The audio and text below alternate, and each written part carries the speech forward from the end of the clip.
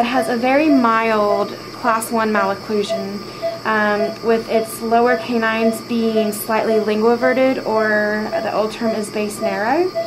And when this dog closes her mouth, the tips of the canines hit the gum tissue just ever so slightly. So we're going to see if we can do a gingivectomy to create a ramp um, that would be similar to an incline plane using our electrosurgery um, as well as our round electrosurgery loops. I'm going to start just with this patient with a small loop and then graduate up to a medium loop to contour it the way that I want it. We'll start with the small loop. I've already um, essentially seen just where the cusp tip hits right in this area. And so I want to start my incline plane um, just a little palatal to that because I want this cusp tip when it hits where it's currently hitting to be able to flare to flare out into proper position. So that's what I'm going to keep in mind as I'm doing my gingivectomy. So I'm just continuing with this slope of the incline plane that I want where this tooth is going to be hitting the ramp. Sometimes on the smaller loops you do have need to clean off the tissue. Another thing that helps um, is using your air water syringe.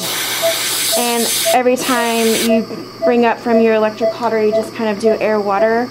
Um, I feel that it kind of cools off the tissue and um, takes away that char, and that's just anecdotal.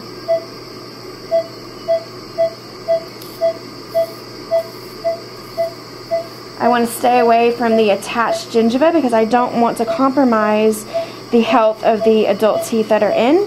So I'm, I'm respecting that. I also don't want to get too close to the teeth um, and create any heat that would compromise the health and the vitality of those. Essentially, I'm just going to continue making my slope.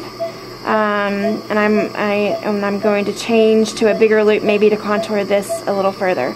I'm not going down to bone at all. I'm just staying along the gum tissue um, just to create a, a ramp. Um, you can also, there is a vessel that runs in between these teeth. Um, so it's deep to it, so you may or may not hit it, but it's a branch off of the maxillary artery. Um, so if you do um, encounter that vessel, then you can um, cauterize as you're here with your electrosurgery or ligate if you were to need to. So I have changed to my medium loop now because I contoured um, in between the tooth just where I wanted it using my small loop. And that was just based on the, the size of this patient, um, the size in between the teeth. So now I'm just going to come with my medium loop and just contour on down. I'm just continuing my slope. And again, I'm all in the gingiva. I'm not going down to bone. I'm just going to clean the tissue off.